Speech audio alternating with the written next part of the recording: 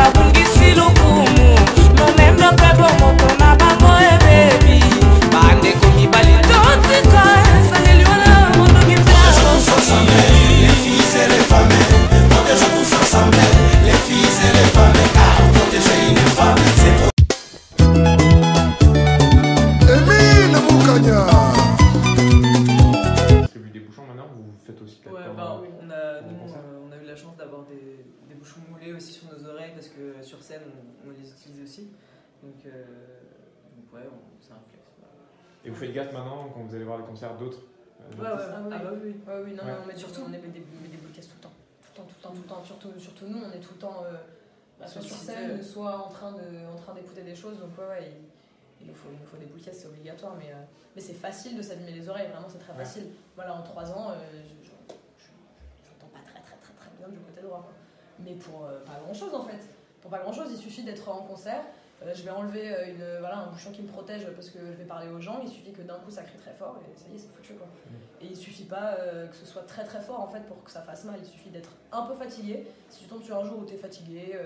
voilà, t'as pas trop dormi, t'es malade ou quoi, bah, un bruit, une sirène dans la rue, pète le tampon Et c'est fini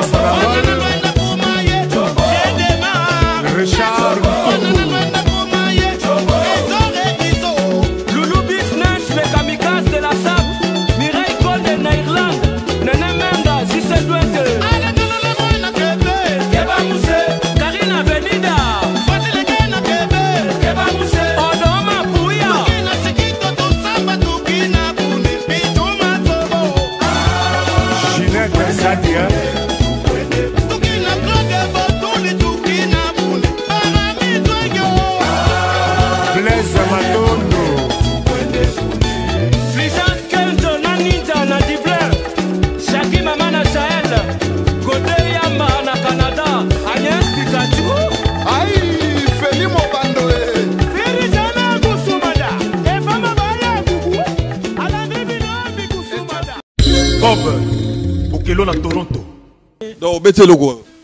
nabeteli ye naleli leli baneleli neleli leli abi en tout cas parti ya lelo yo okoti orchestre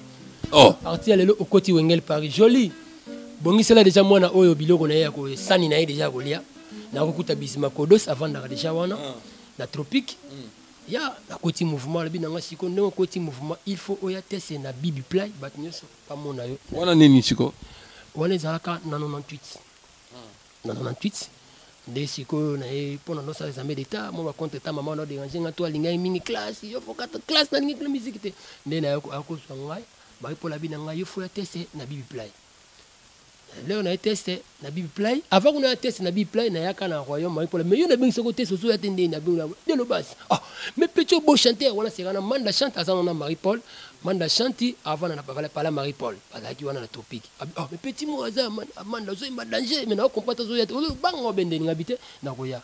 ale mercredi mona ye koya test tosalaka test balaka 20 personnes na bajili kwata bamisien bazalaka ebele jili kwata pa el paris jili kwata pa el paris azwaka te jili kwata mpe ayembaka bien ayembaka bien ayembaka bien se wana bo akuta te bwana bon ye moko akotaka ayembaka bazwaka ye na mouvement mais akokaka nde komaintenir te ndenge akendaka na ye bon wana makambo na ye Tango bazui yo premier concert na obeta? Lere bazui nga première concert na ngai na beta ezalaka concert première concert na nabetaka ezalaka na na veve center na beta concert mo na veve center to beta concert mo boye na veve center. Okuta ba nani tango bazui yo okuta ba nani bato oyo okuta ya liboso na sima? Lere na na na ya kota wengele paris ba chanteur na kuta na kutaka charlie chaplin na kutaka Arc en ciel kidima na kutaka ya mpaka kene kene bon chanteur na kutaka susu bob lorenzo euh, ye moko roi soleil esilia ba chanteur na kutaka bongo po digital atokotaka nde ba promotion moko tokotaka nzela moko na digital masa nanga alijo oyemba mama na gaite na ketchara wana masa nanga digital tola promotion moko na ye na masa nanga volcan Na coin du ferre ba masta mususu baza wana tokota mouvement na na moment wana tokota mouvement yango wana. Combien de temps na Naël Paris? Bon Naël Paris na koti ya ngo na 98 si to ebeti carte jaune na 99 na 2000 ans Naël Paris e voyage biso to tikali na voyage to tikali na ba Doucoure na ba Kainka Kako to tikali na ba Babel Dingema Lelo to benge lelo papa hollandais kala te pa bientot azo ya dejà luanda awa donc azo ya dejà donc to tikalaki eh, en le moins pour to tikalaki moyen pona ba to landa na sima ba biloko mua bongo bon to tikalaki wana. Kokende poto ya bato ya liboso oyo bakenda mbala liboso eh, oyo bakenda bato ya liboso na bino shwana ezalaki sikoyo ya nini ipaki bokotaka maki no tokotaka maki na kinkole po to voyage tokotaka maki boka te sikoyo oyebaki yo voyage te bon ngai nako comprendre ke nako voyage te à partir kaka ya maki bon Marie Paul azwaka 36 visa na serie wana. Marie Paul azwaka 36 visa. Marie Paul azwaka na droit amema nga na poto mpo nayembaka nzembo oyo ezalaka na ampleur nalobaka yango lindala la proverbe nzembo nga nayemba na Marie Paul. Donc Marie Paul azwaka 36 visa mais na 36 visa na amemaka na bato mosusu mpe tomona bato mosusu moko atie tinting na mutu awana musicien te avoyage ah, amema bangulu amema bangulu amema bangulu Marie Paul amema bangulu obike yatala nga toi eh, napesi mbote roi roi soleil atiti abelesi Petit na yo petit makabin ayebi makambo na oloba eza ba vieries bangulu bakenda biso totikala totikalaki la totikali to maintenir mouvement to maintenir mouvement toye ko recruter petit frère na ye Liverpool to recruter Liverpool tobandi mouvement na ba maso ba Janely baye mpe tobandi mouvement tobandi kosala ba travail na ba volcan ba masa na tobandi travail nde Marie Paul aye koya na 2004 Marie Paul aye na 2004 donc tout en 2000 2003 na ba novembre avant tokende 2003 ba novembre Marie Paul aye koya Lay Marie Paul ayebi biso tozali na preparation deja tosala studio na masa mo stora ala uta ya mikili ayaki mm. tonga to prepare eloko moko boye Marie Paul ayoki ah balinga po basala eloko moko boye bino bakata studio wana yebela vision to banda biso to banda yebela vision bakata yango na zo ya Lay Marie Paul ne aye auti mikili aye na 2000 na 2003 wana nde toyebeta premier concert Grand Hotel Lelo tobeti grand hotel tobeta triomphal nde ngai apart ndule na ngai suka na wengele payaki ndule ya triomphal nde nabeti grand hotel triomphal nde naye koya luanda. Uh, maintenant so tolobi na kisasa yo oyebi makambo elomama te yo ya frère na ngai ke pichu alongwa na el paris moto ebujaki ye abela liboma Oko expliquer nini parce que oya Teddy mola TV mokili mobimba oko expliquer nini eloko nini esala batu baloba makambu wana. Ah bon ezala ka biloko moko ezalaki bon ezali biloko pona nga na loba yango bon ezalaki ya makambo ya musique ya mais na belaka na nga liboma te na zalaka na normal ezala ka biloko moko ya mike mike na kati ya maki kani to koti to koti maki ka neti ka lelo lobi na ngo na tongo na mona masta na nga Bisima Kodos abeti sandale na nga abima na ngo Ah. Bisimakodosi. Bisimakodosi. Maka muna na bakodo ayebi yango te. Donc kodo azwa sandale na ngai abima na tongo ngai mpe na fasha. Oh yo neni ngai na tongo na abima banini yo ta sandale na ngai tomo. Oh ya yo moni sandale yango neni ngai na poto ndo swana na kodo. Nde to swana bizima wana discussion le kema makasi. Ya yo ni mate ngai chanteur to swana. De lo mona lobaka wana kodo asepela na ngo te. Oyebi seni. Na loba na kodo lo monga ah longa kanda siko na sidiki ah longo yo leki biliki ton. Ah ah le na lobi bonge pesa faux. Epesa faux ba nini eh, yo petrol eh. epesama faux ba nini na kati ya mouvement namoni ka ba tovandi boye na kati ya maki namona Marie Paul baye na pole pole shana tukelo mboto baye na bango bazali na bango libanda ngaso na kati ya na maki navandi namona Marie Paul aye ah ya so Marie Paul aye bato tozala so normal namona Marie Paul aye bango te babimi libanda bake balandi Marie Paul kuna libanda bayepesa information ke ah makabe kuna baswani na bizima kodosta kutu aloba boye babilo mwa bongo namona sele jino azongeli ngai Azongeli nga se pasi na vanda esili jina yo ah magabe roi aza libanda ngai bonso roi ye nasala nini wana eza mec disi bongo nayebi se le jino hmm. se le jino mta ye wana o oh, roi ye ye mta yaka na ba formation ye ma zaka donc azalaki de songi songi mouvement do ye ma yaka na ba formation nayebi oh se le jino siko nasala ni so roi ye so roi ye ye ah oloba bongo alaki efunda abimi libanda leka abimi libanda nga mpe sikoyo nabimi na kanane nabimaki Nde na bimaki na kanda, nake pa masta na nga moko bala na kinkole wana po tokota na kinkole. Toke tosololi na nafandi na masta wana nayoka libumu bien te ah ba nazongi sikoyo na kati ya maki po nasolola na Gincheka azali lokola neti mua CG na biso ya mouvement en doit controler mouvement na bi Gincheka nazoyoka mua libumu esala nga bien te nga na posa osombela nga kisi moko Dicolas abenga ngo senga tobenga kisi moko Dicolas ekangaka mua libumu oh te mbongo eza te ah mbongo eza te ah lokola eza te nga naobima na ngai naokenda nga kin nakenda nga palais po nalandela ba kisi na nga nake pe na palais Naye kuta mère na se balinga okende boulot journee yango pe kilo mère akokeyi boulot te ah alingi abima motema ebe abuta nanga nini yoke nde maki nga abi te naye vraiment nde naza awa kutu po basombela nga kisi kisi balingo mutu wana CG azo loba n'importe quoi kiti ya te yango naye kote mama esi nanga bo tozonga na maki tozonga na maki mama la suta akobimisa nga na maki wana oyo na rata voyage wana abimisi nga alobi bon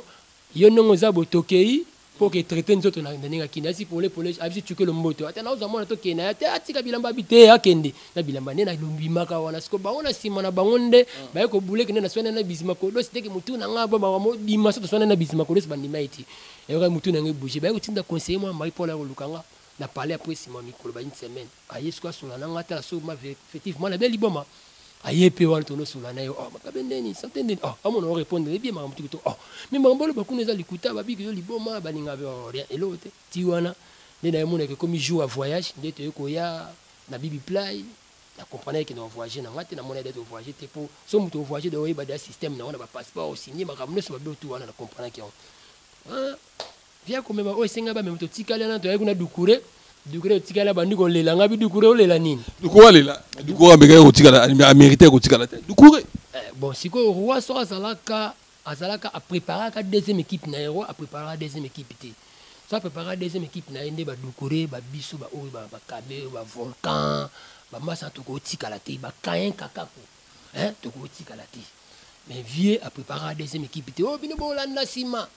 Vraiment pwana ya yango ne moni leka bongo esalama bongo donc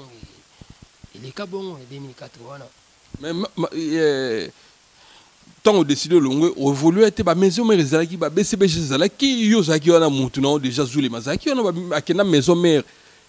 Basalela ye test na mombele wana esimba nango te akota bcbg yo ozali na capacite okende bokesa ba quartier latin ba victoria tout ozali na capacite wana te. Capacite ezalaki makasi kutu donc temps wana en tout cas naloba na comprenaka te wenge le paris eza ko kese mole totikalaki nazalaki musicien banda otia nga maka